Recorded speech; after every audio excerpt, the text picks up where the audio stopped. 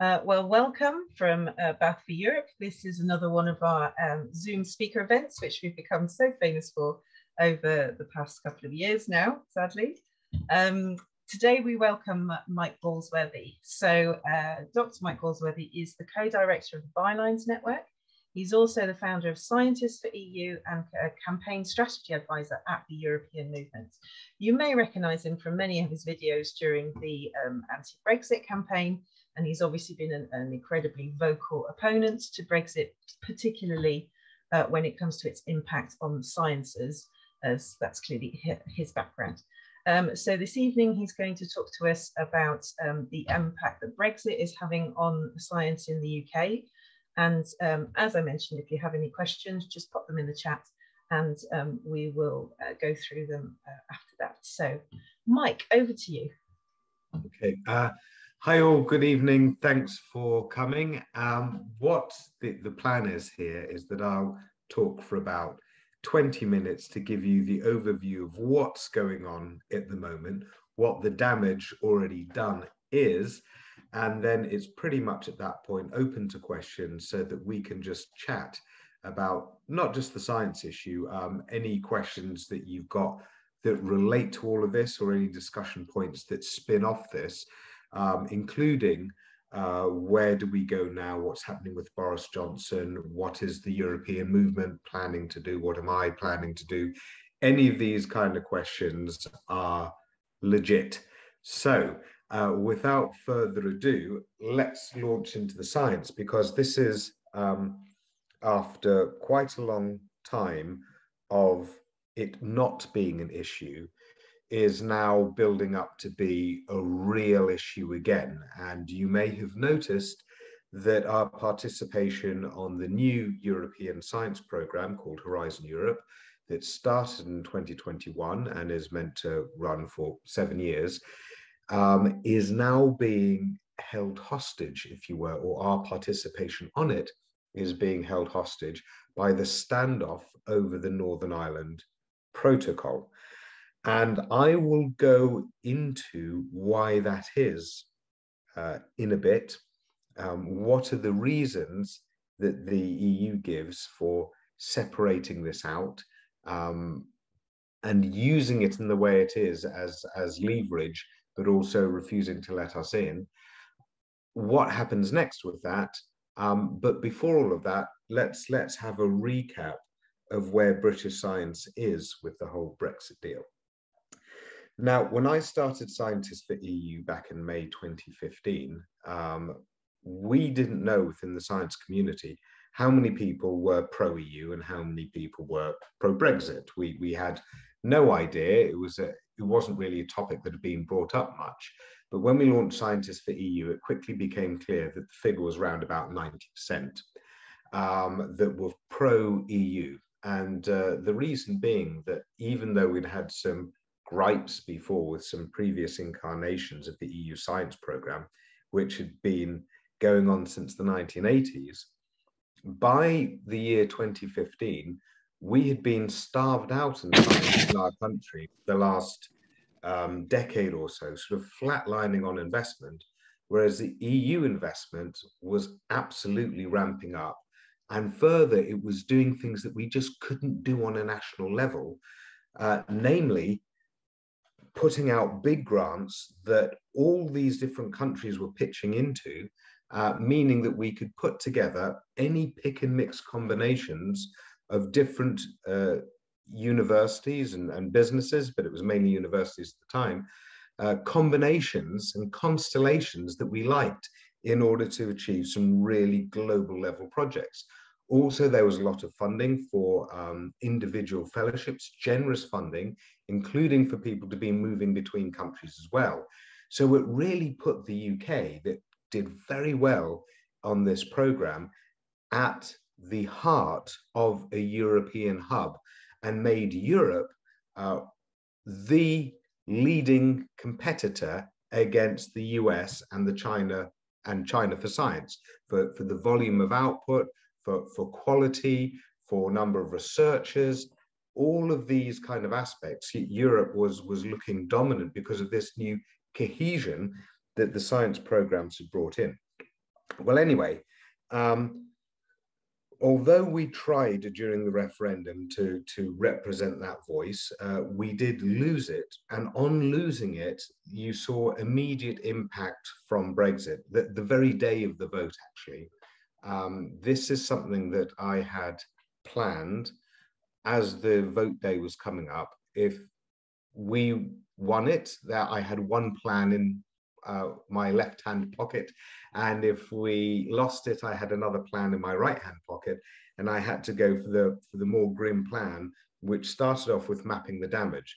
So the initial impact of Brexit, uh, we saw a lot of reports of hiring freezes. We saw people who'd been offered jobs in the, UK, in the UK turning them down. We saw the plummeting value of the pound mean that a lot of people had blown their budgets because they had budgeted to buy equipment from elsewhere in the world. Uh, we saw uh, hiring uh, uh freezes, we saw rejections um, of, of, offers that had been made, we saw uncertainty interfere with a lot of the collaborative relationships that had been um, set up. Um, so there was there was quite a lot of damage across the board and a lot of anger as well. A lot of European scientists in the UK had also, during uh, the build up to the referendum, encountered uh, xenophobia that they hadn't seen in previous years as well, not in the universities themselves or the campuses or the workplaces, but rather out in the local towns. So, one of the things that the government tried to do at the time was to reassure um, our science population that nothing was going to change in terms of our science relationship. Everyone knew that this was a win-win for the UK and the EU. And so promise was made very early on by Theresa May, despite uh, hardcore rhetoric and lots of other places, that the that science relationship would be preserved. All well and all good, apart from the fact that as the Brexit negotiations went on, there were at various time points threats that maybe a deal wouldn't come off. Maybe there would be no deal Brexit. In fact, no deal was better than a bad deal. So it was really on the table.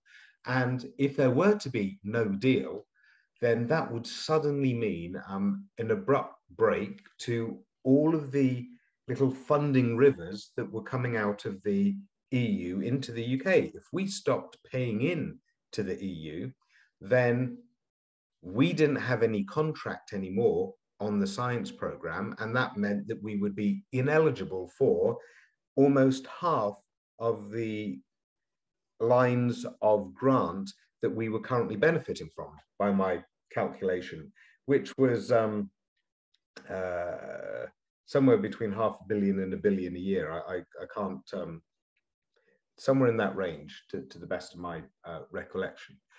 So this, this threat hung there uh, all the way from late 2016 all the way through to the end of 2020 when that funding program ended, Horizon 2020. And after it ended, I was able to do some analysis of what impact that had actually caused. And what I found was that we had dropped from joint first place with Germany on the program in terms of funds won and participations won. We used to be joint first with Germany going back all the way through the previous science program. It just been going on for years, you know, UK ahead, Germany ahead, Germany ahead, UK ahead, like that. After 2016, we fell down behind Germany, then France, then Spain, then Italy, into fifth place, just above the Netherlands. And this is this is for money won, and the Netherlands is a small country, and we were only just above it for funds won, and that added up to 1.5 billion pounds short of uh, where of what Germany had won during that same time period. So that was 1.5 billion lost even though we were fully on the program and fully paying into it, just the uncertainty of Brexit to UK science put us in, onto fifth rung. So that was the position that was then our new starting position for when Horizon Europe was going to start at the beginning of 2021. So let's let's park that up and talk about the other things that happened during that time. Firstly, uh, we lost our um, European Medicines Agency. That had been sitting in London with a turnover, a taxable turnover of over 300 million pounds. Um, we had 900 staff there, but more importantly, this institute, the European Medicines Agency, attracted a lot of pharma businesses into those locations around it in Canary Wharf, London, and had about 40,000 business visits per annum. So did a lot to fuel a lot of the local hotels, restaurants, travel, you name it. So we had that hub and by dint of just coming out of the EU, we no longer had rights to that. So that European Medicines Agency went off to Amsterdam, taking those jobs, that, that, that skill, and that's money and all of that business activity with it. And it left behind our um, medical um, health and regulations um, agency, our MHRA, that had previously been working with the EMA as a sort of twin machine covering all of the single market for medicines of Europe, which is the second largest in the world behind America. Even though we've got a larger population, America just uses more drugs. Um, but we had been uh, running that market, saying yes or no to the different drugs and medical devices coming through, and our MHRA um, and our EMA basically had been doing that together. So the EMA goes away, it's our MHRA, which then, if you recall, in the in the um, the vaccine approvals, was first off the mark with vaccine approvals, even though this was under EU law. They are good. They are a great team, but their business has dropped because we are now no longer in the single market for medicines, and it was threatened last summer that it could lose up to 25% of its staff now. Uh, that's something that Boris Johnson didn't brag about, just because we are now our own small market behind the EU, behind the US, behind Japan. We're down in about fifth place. So we're low priority or lower priority, much lower priority for a lot of the innovative medicines coming to market that people want to put in the big markets first. So we have really lost um, a lot of edge there, and, and with it some representation from pharma companies that, that are used that were otherwise set up in the UK. They had to build other structures in the European uh, single market and spend a lot of money on them to hold it there. We also um, had problems with uh, Galileo, as you may well know, which is the uh, European version of America's GPS system or the Russian GLONASS. It's um, a global navigation system. And we had put a lot of time and money and investment into it. Uh, but now, by dint of Brexit, because we are outside the EU, this um, Galileo system serves the security interests of EU nations exclusively, which meant that suddenly some of our top cutting edge businesses um, in the satellites area can no longer compete for those security grants or be privy to some of that sensitive information. And because um, we found this unacceptable in our country, well, we, it is unacceptable that our military, for example, could not have that fine detail that, that Galileo was bringing forth. We had to spend oodles of money trying to build our own system or, or buy out OneWeb to try and adapt it. And that became a farce in itself. Um, and so you're looking at loss after loss. We, we the, with the regional development funds, which were largely focused on science and, and innovation by the end of it, we've lost that. And we've been placed, the government is replaced with a fraction of that money. In terms of our place in Euratom, um, that is also now um, under threat with our uh, Northern Ireland Protocol shenanigans and we are only um, part of ITER, the big international nuclear fusion site in France, through our relationship with Euratom, which was a, a little um, hook that we had rather than being a part of it as an independent country. We saw our students from the EU drop by about 41% at about the same time. This was reported round about the same time that our government decided to cut us out of Erasmus, which was bringing tens of thousands of students to our shores. And I will remind you that our higher education is one of our greatest exports. It is an export, and it's an export that happens on our soil. People drink in from around the world, uh, future leaders uh, of, of businesses or of nations often have spent time in the British higher education system that is a, a, soft power that we have and an export that happens on our soil because people come here to also live and spend money here while they're getting that education. So we've put up barriers to all of those. Um, and the supposed benefits that we were meant to get from uh, Brexit in terms of freer regulation, well, the government set up a task force in order to look into the opportunities there and one of the two chairs of that, George Freeman, um, helped steer it to a conclusion that actually we don't want to deregulate here. We just want to think about how more agile we might be in the future with our freedom, fully acknowledging that there were no standards that the EU had set that we wanted to rip up uh, within science and innovation and medicine and health. So um, it left us with um, also some businesses like Intel and Tesla saying that they wouldn't set up in the UK because of Brexit.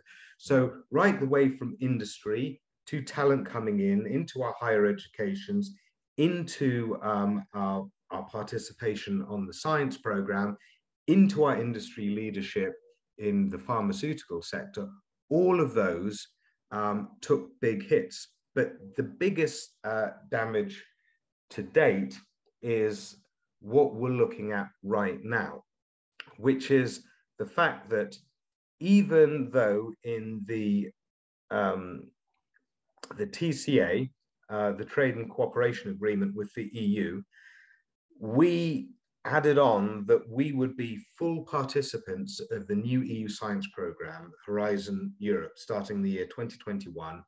That has not been fully signed off yet. It's there in principle in agreement, but we haven't got the actual sign off yet to go and release the money. The reason being the Northern Ireland Protocol. So the EU is refusing to sign us fully into that program while the Northern Ireland Protocol remains unresolved. Now, that means that since the start of 2021, the vast majority of grants we've just missed out on. Um, there's there's streams that we've been able to participate in as, as sort of like second fiddle and our government's been able to cover it. But because we're not fully part of it then that means that if we don't get accepted as a full associate member we step down to third country status where we're only eligible for about half of the funds that otherwise we could get. Some of the big fellowships we can't do but most importantly it is the coordination of those multinational collaborations that we can no longer engage in. We can't head them up. We can come on as a secondary partner, taking instructions from others, but the actual leadership role where we were so dominant before, we don't we don't have that. And the Commission is currently telling uh, projects that are approved where the UK is a lead uh, to restructure it so that another country leads. Um, and that is to protect those projects.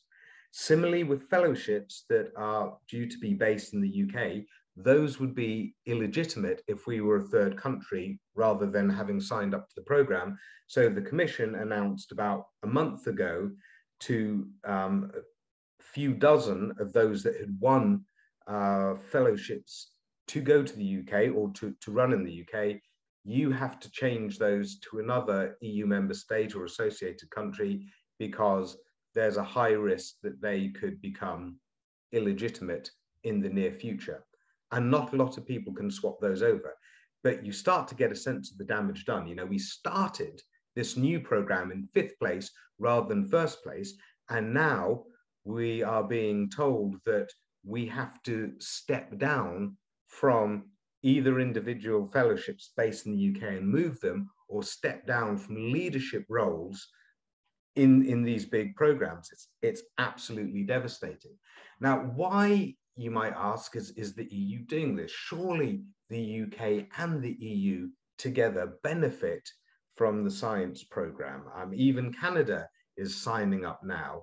So surely the UK can. They know our science community. We're good for it. It's beneficial. This should be entirely independent, right? Well, there's there's three things going on here. Firstly, there is the fact that we only signed the TCA because we had a withdrawal agreement that went before it. That was the 2019 um, oven ready deal that was the withdrawal agreement with the Northern Ireland Protocol. That said, that we're settling up all our financial differences, paying that 39 billion, uh, covering um, who gets what assets and covering pensions, and also coming to an arrangement that if a future trade agreement falls through, nevertheless, we're all even Stevens now in terms of guaranteeing our interests going forward. And the Northern Ireland Protocol was part of that fundamental guarantee. So then the EU are now saying if the whole TCA rested on the withdrawal agreement and you pull the plug on the withdrawal agreement, well, that is all foundational to the big trade agreement we did, and, and science is part of it. So, how can we go forward with a lot of those arrangements when the very foundations of them that we set in 2019, you're pulling the plug on unilaterally against our will? The second argument associated with that is one of um, the EU not being mugs and ensuring that contracts with them are honoured. So, how can the EU, they think, in reasonably go and say, yeah, it's okay, UK, we'll sign a new contract with you, even though you're in the middle of blowing up a previous contract that we've signed with you? Like, how can we go and do that? That that would be nuts on our part. Um, either to, yeah, uh, and then associated with that is, is the real politic that the EU faces, which is if it has to face down, whether it be uh, Putin or China or even within their own ranks, Hungary, they cannot look like they're, they're, they're an easy, you know, pushover in terms of uh, the rules that they set, because then everyone will have a go. So they've they've got to look um, as if they hold their word on this. And they've had success previously with, if you will, getting their way when someone is dishonoring contracts they've signed with them before. Back in 2014, uh, the Swiss had a referendum on whether they should ditch free movement, one of their agreements with the single market. And they agreed narrowly by 0.5%. Yeah, yeah, we'll ditch it. Um, and then Croatia joined the EU immediately after that. And everyone that signs up to free movement had to sign. Yeah, Croatia's now on board and they have the same rights as other people free movement to come to our country. Switzerland wouldn't sign that. They said, citing their own referendum, they just can't sign it. And the EU said, well, you're breaking all of your contracts with us because that goes against the deal that we have. And so the EU withheld uh, the, the joining of the Swiss onto their new program. They said basically, if you don't sign this contract, then we can't sign this one with you about the science program. And absolutely screwed up uh, Swiss science for four years until the Swiss internally sorted out what the hell they were doing with free movement. They actually had another referendum on it, and uh, the population woke up a bit more and, and took this one more seriously than they had previously. And then that was all fixed, and the Swiss were back in the program. So the EU does have form as using um, the science program as a bit of a football, but also as a point of principle about contracts. So that's where they are at the moment. And I, I, realize I've gone over 20 minutes to 25 now, so I'll wrap this up quickly. But uh, the long and short of it is that we're really, really stuck now. It was thought that we may be able to resolve the Northern Ireland Protocol situation at the end of last year, at the end of 2021. And then there wouldn't have been much damage done to science um, if, if the UK, you know, agrees the recommendations the EU had, fine, we're back in, no one's really noticed any difference. But now that we're getting into 2022, it's really getting um, really threadbare, thin now, patience on both sides. If the UK blows up the Northern Ireland Protocol, we are out. But if the UK um, strings it along anymore, then even within the UK, people are thinking we've missed out on so much now. Maybe we need to make our own program, and that's they're they're calling it Plan B, but they're now thinking, crikey, we're going to have to do this, and so these are the pressures on at the moment. Essentially, unless the UK government folds and says, you know what, your adaptations to the Northern Ireland Protocol within the rules of the Northern, Pro- Northern Ireland Protocol, we can live with those. Unless that happens, we are going to see wreckage on the EU science programme, our participation in it, and it is going to hurt UK science hugely, um, but not so much EU science, which ironically is already starting to benefit from something of a uh, brain drain uh, from the UK already. So the damage won't be mutual. A lot of people like to say that it will hurt both parties, but actually the EU is is is big. It's got its framework set up. It'll just be treading water on it. Some losses, some advantages, uh, but the UK will be badly, badly hurt in terms of being an attractive place for, for multinational science and talent. And I will wrap that up there um, and say, ask me anything and pass back to Emma to, to coordinate the discussion. Brilliant. Thank you, Mike. That was uh, really interesting. We have had quite a lot of questions. Just a reminder, if you do have a question for Mike, just pop it in the chat. And if you could put the word question at the beginning, that would be really helpful. Um, so starting up, there's a couple of questions which I think you have touched on, but it might be interesting to, to talk a bit more in detail. So firstly, from Fiona, what has the impact been of European students not or no longer attending UK universities? Do we have any detail on that? And secondly, from Ulrika, what does Brexit ultimately mean for medicine? Are there any major collaborations that are going on at all? Right. So um, on the universities one, um, EU students that came to UK universities were one and a half times more likely to get a first class degree than our own native students which which shouldn't surprise you. It's not um, it's not a genetic thing. It's the fact that those students that are more active and, and mobile and adventurous um, tend to be the the brighter ones. But it goes to the wider point of when we had our doors open to the rest of our continent, especially having the world class universities that we do, plus English language we really did attract the, the best and the brightest, which goes to really enrich our own educational environment.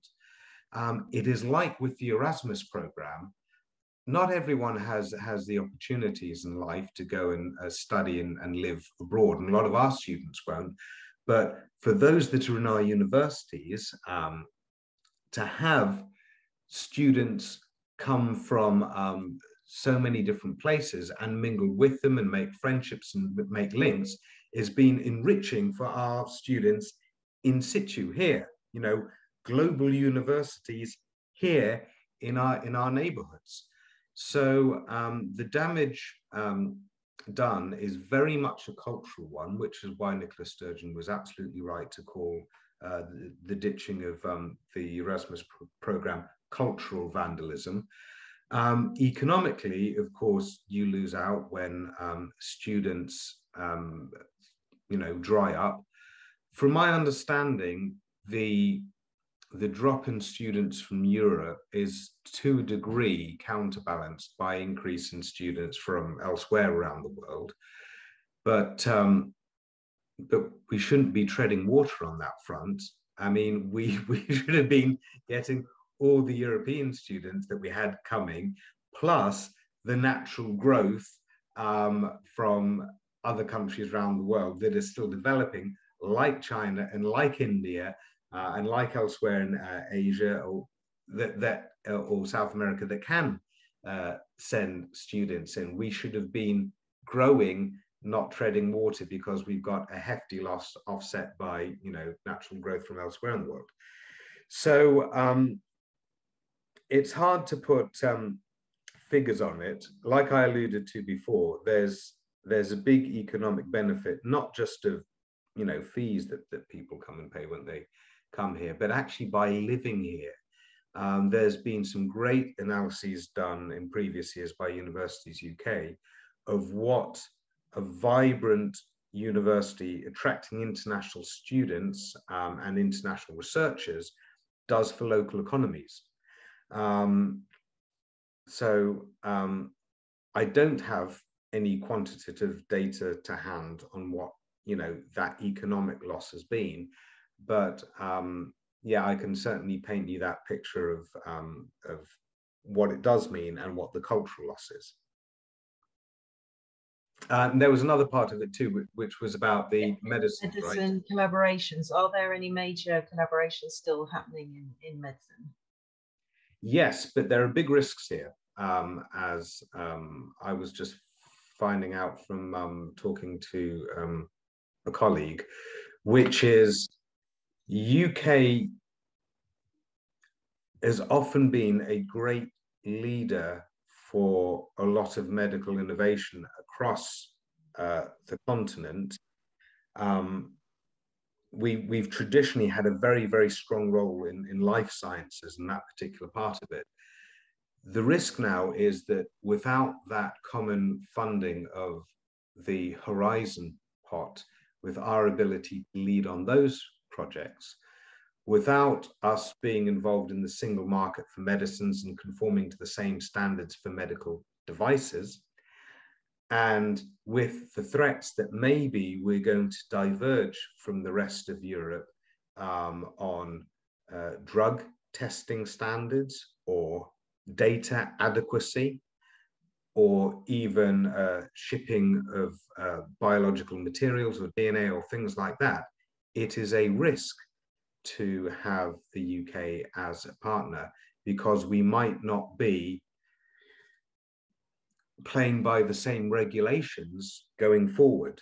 So even though um, you know we still we still have a lot of networks and connections across Europe, it's really really taken the the shine off and put the spooks into um, UK partners being a leading force on pan-European uh, work. Um, there is actually a question about that. Oh, so... another thing I'll say, sorry, sorry, just before I don't forget. And also remember that, that with, with the EU science program, it is actually global. You can participate from anywhere in the world on that, you know, second fiddle level. And the UK has often led, particularly in health science, a lot of projects that then go and span uh, Asia, Africa, South America, and what have you. But additionally to that, remember when the um, overseas development budget was, was cut back by this government.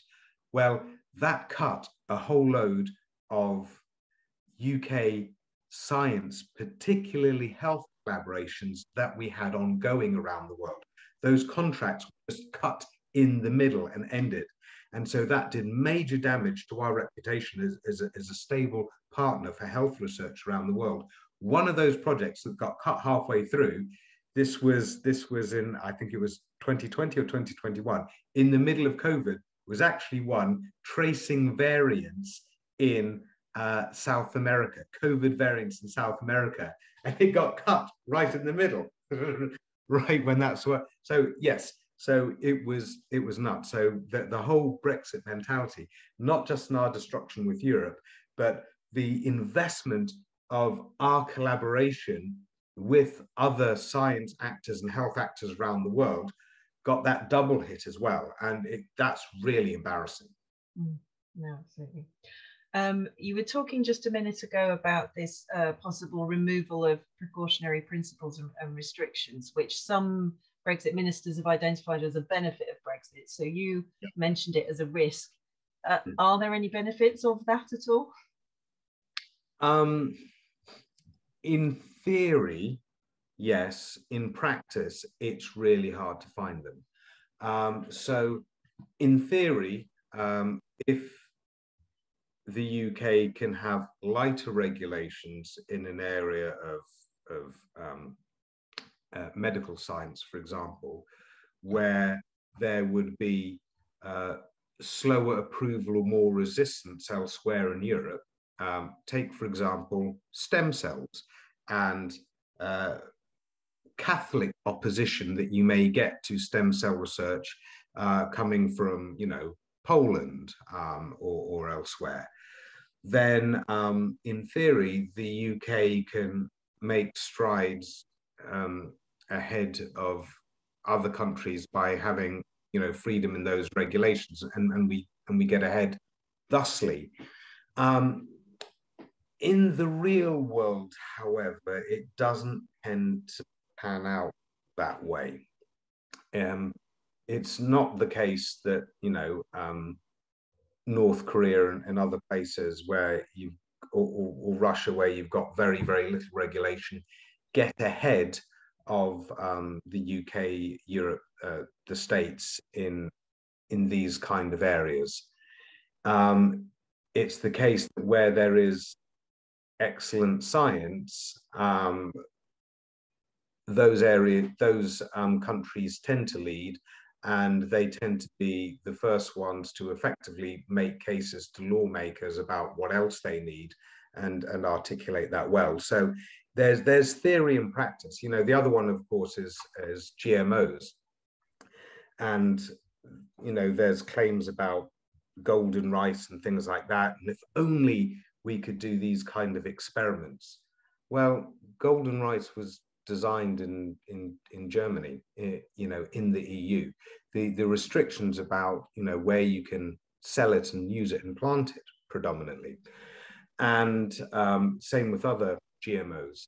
And so if we were to develop GMO plants, we wouldn't be able to sell that into the to the European market. We'd have to open up sort of new markets where they do accept that.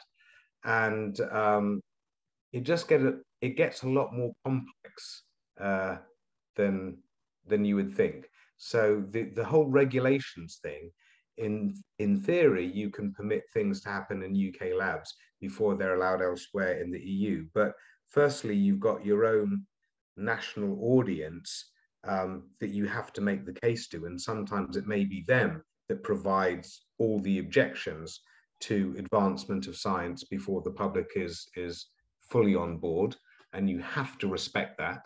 Um, and other times, it's just a case that um, there isn't so much of a, of a first mover advantage there. It's it's more about where the quality research structures and then big investments come actually. So it's more about the, the scientific infrastructure that you've got as a whole. Um, we mentioned Erasmus um, several times earlier. Um, what are your thoughts on the uh, Turing scheme, which is obviously the British equivalent? um, to Erasmus? Um, right, I haven't seen a, a, lot of full and complete data on it yet to compare with Erasmus. I, I will give the government credit for one thing, and that's that they got it up and running really fast. I didn't think that they were actually going to be able to get a program in place in the time that they did. Um, I think the the main take home message though is the Turing scheme is all about sending our people elsewhere for them to get experiences and come back. Um, what you had with uh, the Erasmus scheme um, was a much, much broader community where there were exchanges both ways. And so there are a lot more links built because we also took in um, people from right across Europe and further afield you know, into our universities and also in, into other projects and other workplaces. Um, and so that that two-way flow is really the thing that is that is sorely uh, missing um, and and lost, as well as um, and this was very cynical of the government. Um, the reason why we believe the government really rejected um, Erasmus, even after promising they'd go with it, was that the price tag on Erasmus uh, sort of increased quite substantially um, round about you know the end of 2020. You know the, the the budget for the next plan increased a lot, and it was largely to expand the program, uh, particularly to include uh, provisions for lots of disadvantaged people, whether it be disabilities or whether it be disadvantaged backgrounds, um, and include, you know, new sectors of, you know, the educational structure um, that people thought needed to be served. So that put a bigger price tag on it. And apparently Rishi Sunak balked at that and thought, we're not paying that kind of money. And besides, why should we be paying uh, for them to be coming over here? Mm. Um, I don't know why he, I, and I think there, there's there's some some cultural vandalism aspect to that, um, but he decided that it would be better if our students we gave more opportunities of where they could go around the world, and that's the main focus of it. So that's what we should do. Um, and so then that's what they did. They decided not to be part of it. They decided they'd make their own, you know, proper sort of British thing. And one of the first reasons they gave was that Erasmus was very middle class. And they all came out with this line early on that Erasmus had been a middle class. Well, firstly, um, it was designed to be fully broad spectrum to give opportunities to youth everywhere. And it was our government's responsibility to make sure that all of our kids had the opportunities to take advantage of it. Secondly, it was deeply cynical because the reason why Erasmus had just increased in cost was exactly because it had been expanded. So it was it was um, really frustrating to see that, that that disingenuous argumentation uh, that was very, very culture warsy as well. So yeah, that's that's what I think about that. Um, I'm I'm not going to slag off um, Turing just just for the sake that it was the government's invention to replace Erasmus. I want to see what what the data are on that after the first years. I think it's good to open up channels to elsewhere in the world, but I just think it should be complementary to the system that so many people have, have grown to love. It, it's matured well. Um, all of our universities and, and those structures were supporting it. So why the hell would, would you cut it off other than uh, making a purely political decision that is based on personal preferences of a, a few people in the executive rather than what the actual community of the country for whom it is relevant wanted. So I thought that was a piece of, of real selfishness and irresponsibility. Good, thanks, Mike. Um, bit more generally, so I'm going to put two questions together.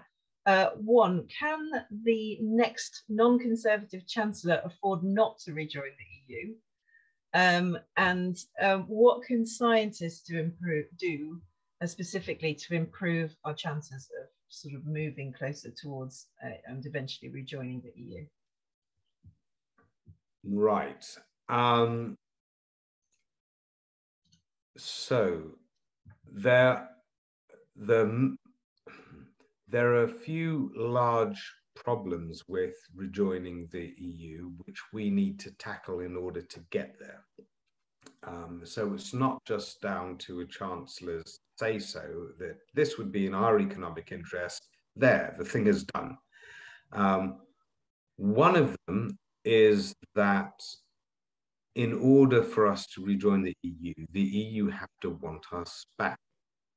And one of the things that they will be very wary about is if they have one major political party, let's call them the Conservatives, that are absolutely ardently against rejoining, and another political party, let's call it Labour, that are absolutely for it. This is wishful thinking at the moment. Um, then that is not good enough for the EU to say, yeah, yeah, now that we've got a Labour government, come in, because the way they will see it is like, well, this is going to be playing the hokey cokey down the down the decades, isn't it? You know, you're in, then you're out, then you're in, then you're out, and shake it all about, and like we're dealing with you all the time, and with your inniness and outiness.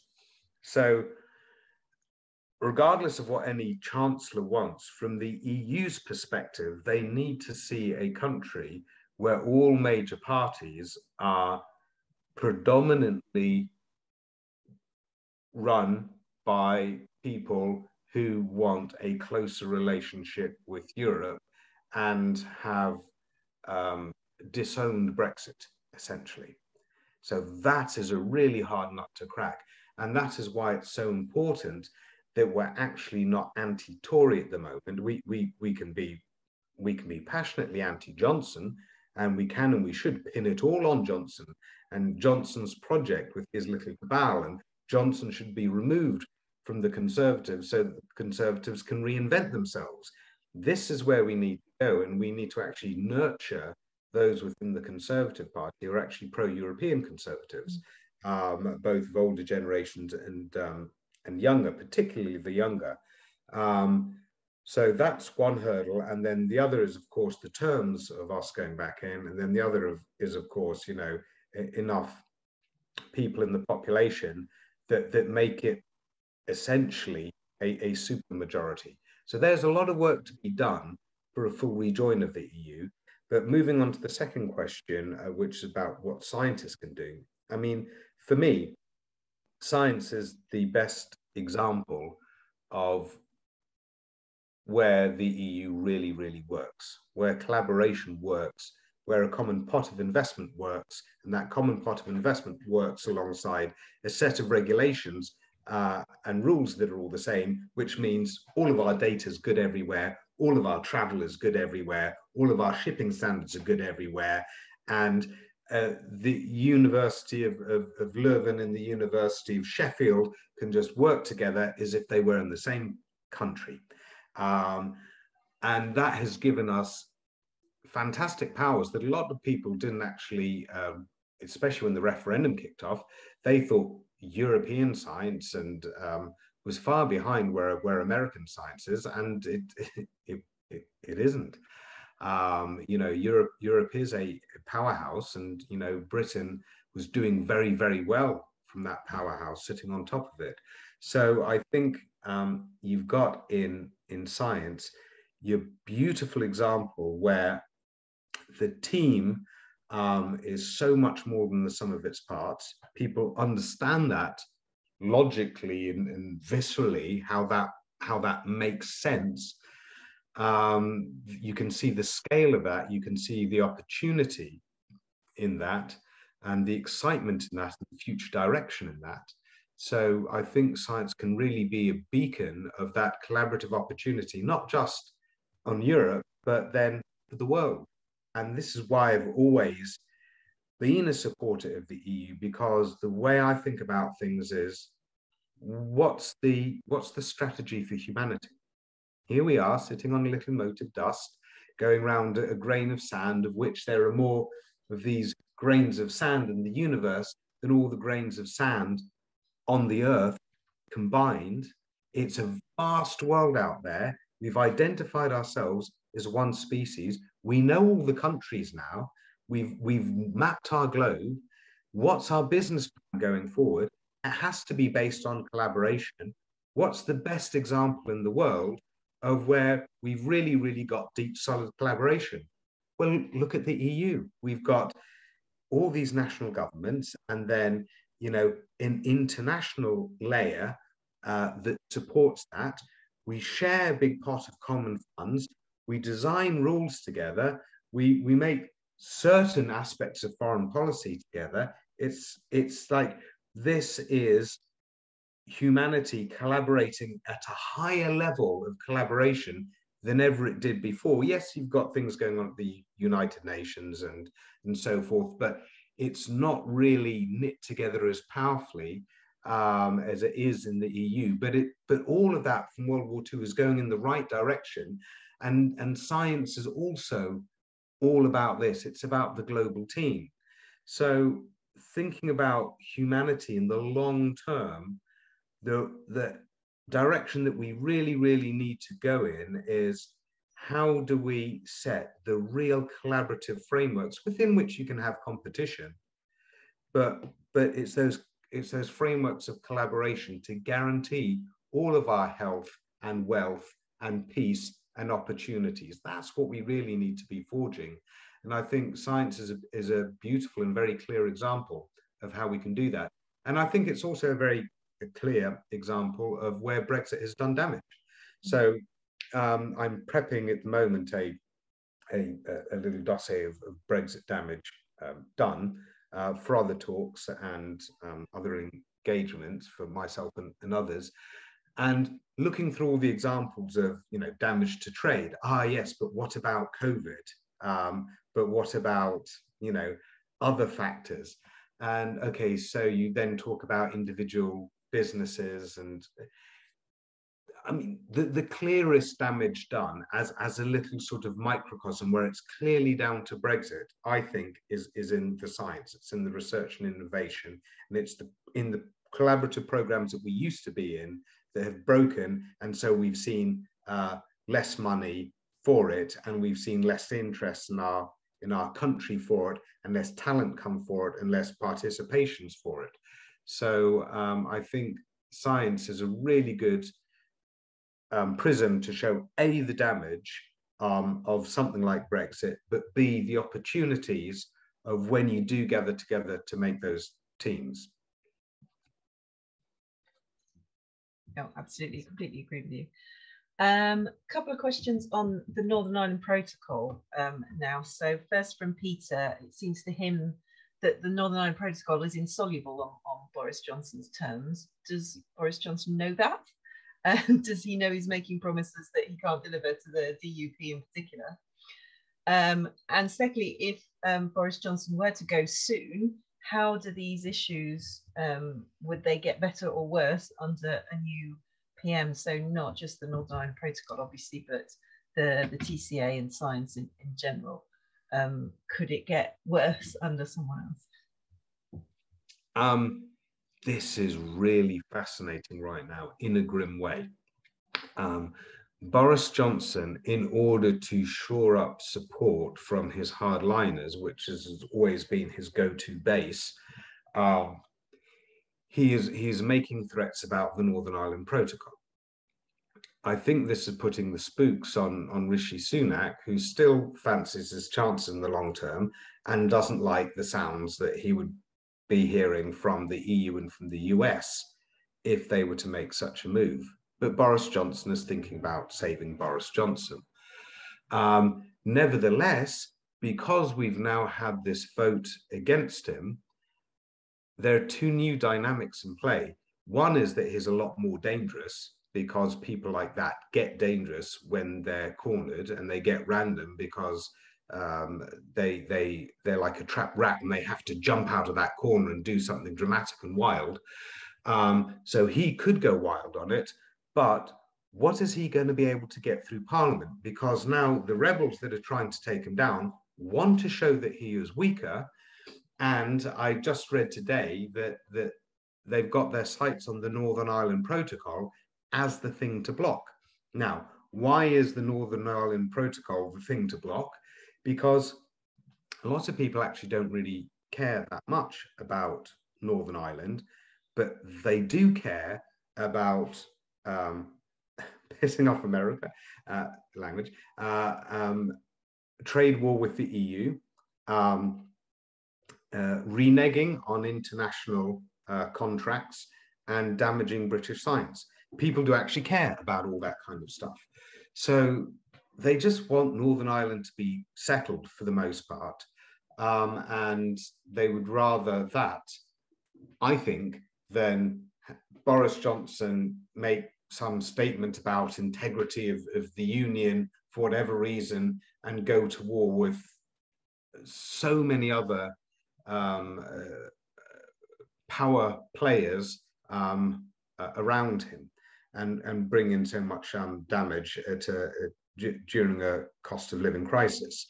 So um, it looks like that's what they are targeting. So what happens if that stalls? Well, if that keeps stalling, then the dynamic within Northern Ireland pretty much stays as, as it is, which is the trade links between Northern Ireland and Southern Ireland and the rest of Europe uh, grow and grow. And the, the trade links with the UK are sort of like stuck. Um, if they do blow up the protocol, then all hell breaks loose, and that may satisfy the DUP, but it may upset a lot of other people in Northern Ireland because then you've now got a lot of damage being done there. If Boris Johnson goes, then who's going to come in and what's their policy going to be? Very hard to predict because will the majority of the Tory party then align with someone who is a very hard Brexiteer or more of a soft, pragmatic Brexiteer? It's hard to know. You'll, you'll have the Steve Baker faction, most likely, that want to go hard and be confrontational. But I don't know what they've got to gain from it. And if there's anyone who wants to be softer and more pragmatic about it, that would seem the sensible line, particularly if if uh, the you know the appetite for aggressive Brexit isn't there within the wider public. Um, but then you've got some pretty nutty people within the Conservative Party that will kick up a fuss. So it's really, really difficult to predict. Um, I think at the end of the day, it's looking to me like if Boris Johnson and his government were confident about playing hardball on the Northern Ireland Protocol, they would have done it by now. Um, and that is and that is something that I've also heard from Dominic Cummings previously, that um, he says that they've missed their window on it. Um, and you know, this is something that he was fully up for, breaking things all the way, but he thinks they've, you know, they're they're too weak to do anything um, on it now effectively and, and it wouldn't go anywhere. So I think they're kicking the can down the road, looking for somewhere where they can bury that can. Um, and how they handle the DUP is going to be the trick. And Boris Johnson puts things off wherever he can, so he hasn't faced down the DUP yet. But um, I, I, would hope that any new person coming in, one of the first things they would do would be to face down the DUP and um, yeah, but it's a mess. It's a real mess. Um, so, what do you think of Tobias Ellwood's suggestion at the weekends of rejoining the single market? Um, how many problems would that realistically address? Oh, the details don't matter at this stage. The the thing that matters is that he has single-handedly broken that um, that vow of silence, that omerta within the Conservative Party, and put it back on the table.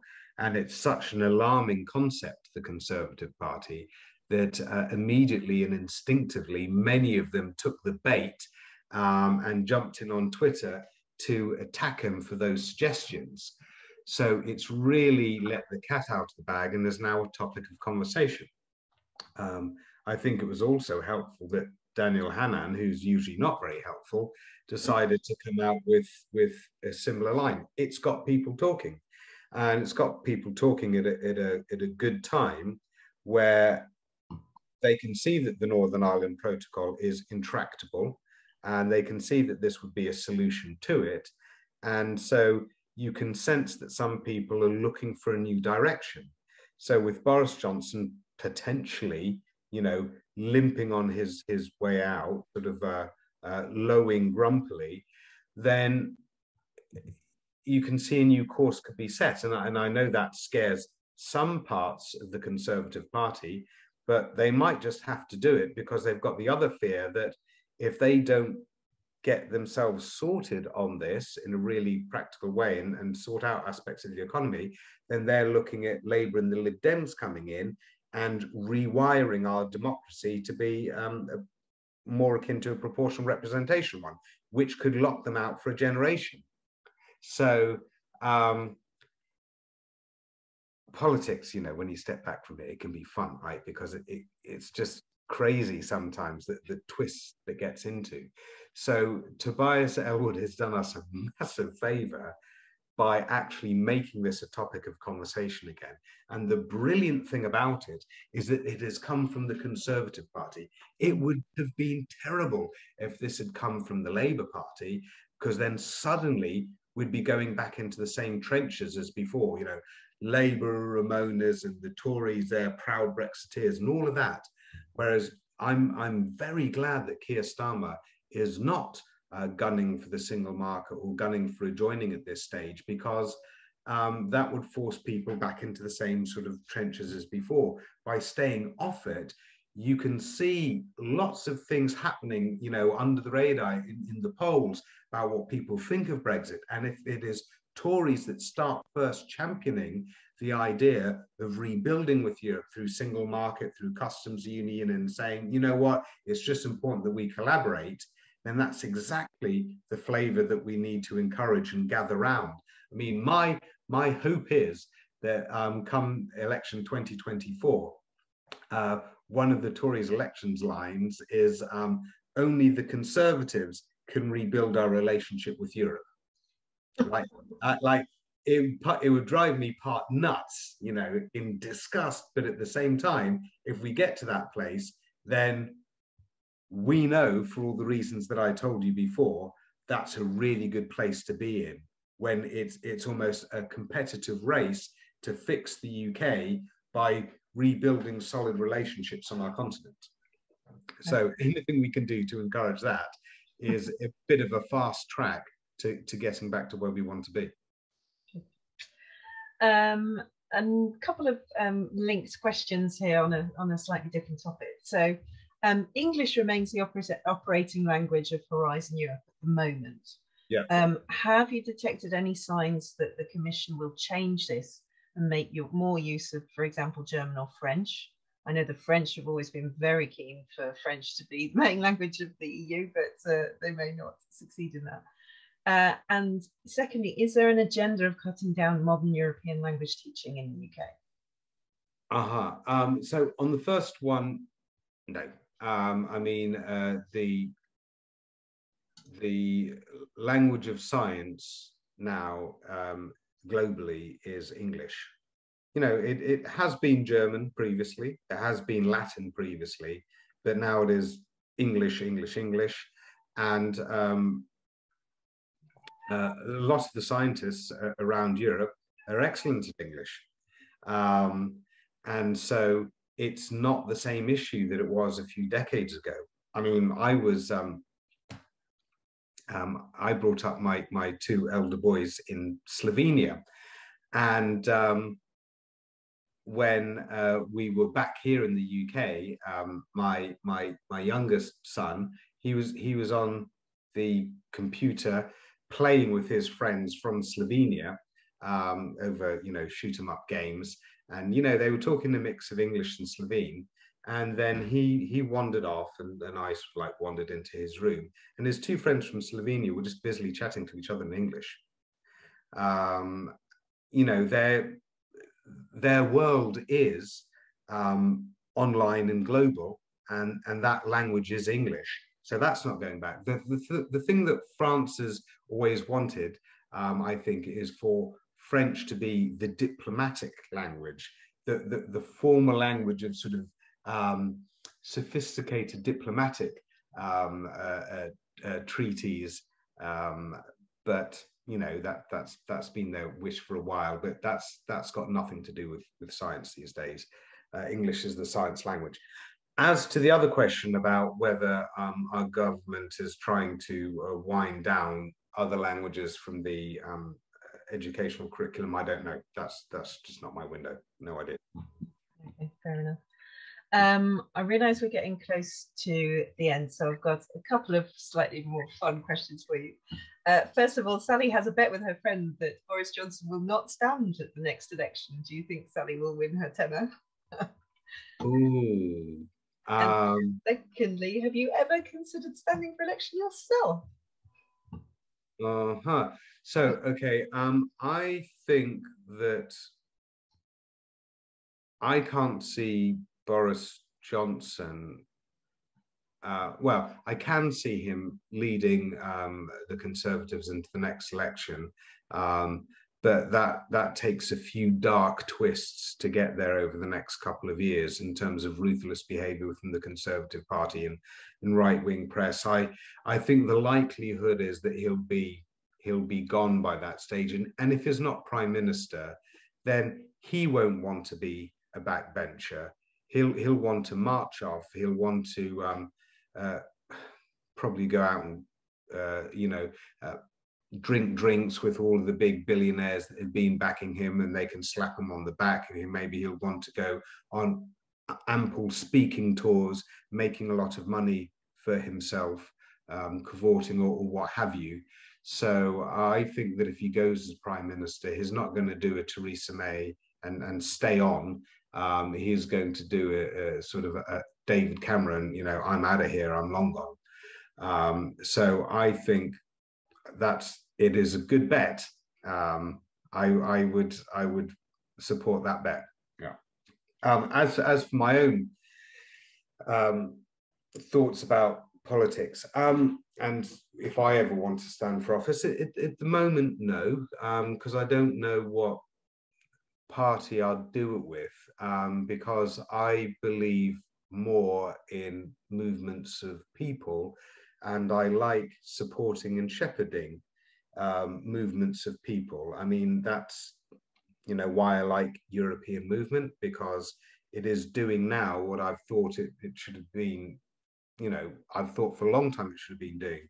Um, and it, it couldn't actually do during the People's Vote campaign because it was starved of support and, and um, money at that time. But being that hub that supports a lot of local groups um, in, in, a, in a good service sort of provision way. Similarly, that's why I've set up the, the Bylines Network because I just thought we need local publications, um, but it's it's a hard slog by yourself, and people don't have the money for that. I will find a way to gather together a support hub so that we can um, set up our own regional publications and teams of people can run that and we can do citizen journalism and we can give everyone a voice. So I think that there's much more than I that I can do in in all of the the, the, the social media and the um, online newspapers world and online campaigning world than I could as an MP. And if I were to be an MP, what party would I pick? You know, do you pick, you know, a smaller party where it's easier to get in, or do you go with uh, something like Labour, where you are more likely to get into government, but you have to earn your stripes up all the way through the system? And um, I thought about um, that for the European elections 2019, throwing my hat into the ring for an MEP but I quickly found out that the Labour system, um, you know, um, first um, it, it, was a list of those people who already were MEPs. Then after that, it was you know female, male, female, male, and from you know um, selected places, which meant that I I really didn't have much of a shot throwing my hat in the ring there. So it's it's a barriers to entry thing um, as well as a satisfaction with what I'm doing at the moment thing, and, and thinking that there's uh, a lot of politics is not just about MEPs, a lot of politics is about us, and it's about communities and mm-hmm. building those communities and building those structures, com structures, campaigning structures, um, and, and all these kind of structures that nurture um, parts of society that we want to nurture. And, and I and I I like that. Yeah, absolutely. I was in a call actually earlier today where um, a person on there was saying that actually movements like ours are doing some of the jobs that political parties should be doing. So, for example, calling out uh, the damage of Brexit and all these things like like Horizon and and all of that, there is quite a lot of silence around Brexit coming from several of the opposition parties at the moment. And yeah. actually, it's really movements like ours and charities and other sort of democracy organizations that are the ones that are that are screaming these messages that really some of the political parties should be doing. Yeah, and we, yes, we, we we go out there, we cut the paths for them, and we take flack for them, mm. and then they come blasting through and take. And they, then they walk along, walk along. And I mean, I I, I remember in, in 2017 um, uh, all, all the the big tactical voting drive that happened against Theresa May. And then um, and then you know Theresa May lost her majority, and you know amongst the the Labour left, it was all awash with songs of "Oh Jeremy Corbyn." It's kind of like, yeah, but you do realise the whole Remain community was tactically voting predominantly for Labour, but sometimes Lib Dems for a different. That was never acknowledged. Mm-hmm. And in general election 2019, I, I, I spent a good 100k of funds I'd, I'd raised for Scientists for EU and, and Healthier in the EU on northern marginal seats between Labour and Conservatives on issues of the NHS and trusting Boris with the NHS, which was later proven to be exactly his, his weak point that he uh, hadn't hit, you know, for what it's worth. And then after after that, I thought, right, well, I've just I've just gained a whole load of money on what I think was, you know, beautifully designed stuff because it was using our Facebook page, um, uh, NHS for a People's Vote, uh, that already had its fan base. So pushing it to the right constituencies. And then when they saw those messages come up on their Facebook feed and looked at the comments, it already had the social proofing of all of our community. So I thought is beautifully designed. Um, but like, who's who's grateful for that at the end of the day. And and I mean, I, I feel particularly um, with the Labour Party that they don't acknowledge fully not just the socialist societies, but the other campaigning groups around them, like for example, Emma, Make Votes Matter, that do a lot of the hard work, breaking new ground for them mm. with their CLPs, getting it through conferences, making all the movements for them so that they can go, hmm, when it's obvious you should go there, hmm, I've got an idea, we're going to go here. And then they, yeah. Um, and, and I just think there should be more acknowledgement by political parties of the ecosystems around them that prep the territory for them. I think um, the Conservative Party is generally better at that because they do have those tighter relationships with uh, the Telegraph and the Daily Mail and their Institute of Economic Affairs and Policy Exchange. You know, they work with them a lot more intimately because they recognize better their roles in, in paving paths for them. Um, but I think on the progressive end of things, you, you know, you've got politicians like Caroline Lucas or, or uh, Layla Moran who are fully aware of that and always fully involved and really part of that mix. But, but particularly with uh, the leadership, shall we say, of, of the of the Lib Dems and Labour, I don't think they've really uh, clocked it yet or, or, are appreciative enough yet of the importance of those satellite communities around them. It's not about the glory, though, is it, Mike? no, no. But yeah, it would be nice to have actually been acknowledged. But anyway, that's a whole... an occasional cheers, pal, might be nice. you did a good job there, yeah. But uh, no. Okay, brilliant. Well, thank you so much, Mike. It's been fascinating um, speaking to you. I'm sorry if I didn't get to all your questions. I'm hoping that I chose uh, enough of a, a, spread of what was uh, covered to, to have a good uh, cover. So thank you very much, Mike. That was um, really interesting. And uh, for anyone who maybe came in late, we have recorded it and uh, we will be sharing it on our Bath for Europe YouTube channel. You can go there as well to see all the previous talks that we've done. We've had all sorts of uh, special guests in the past. So um, go and have a look uh, for that. And thanks for having me uh, virtually. Um, I've got a bunch of other virtual ones lined up. Feel free to jump in on those, even if it's um, not your your part of um, uh, the country. Uh, and then also, I think at some future date, we just should have more uh, physical in, Yeah. in real world events. Um, I think it's it's feeling like time that that can all kick off again, and Mhm. then I think that's good for all of us on the community building front to actually, you know, sit in the pub together after these kind of um, uh, chats and discussions and exchanges, and um, and uh, do it that way. Absolutely. Well, funny you should mention it, Mike. We actually have one happening this Sunday. Um, so Really? we have, yes, we have a picnic in the park this Sunday, uh, the 12th of June, starting at 3 p.m. So that's at Henrietta Park in Bath.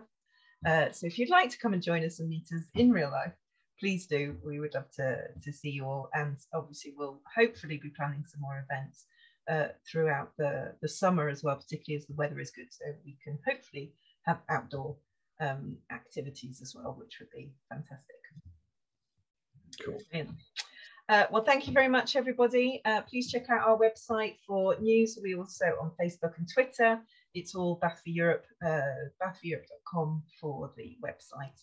Um, thanks again to Mike. Thanks to everyone for joining us. And uh, yes, keep an eye on our socials for future events. And please join us in the park on Sunday uh, if you're free. But uh, thanks very much and have a very nice evening. Thank you. Bye bye. Bye.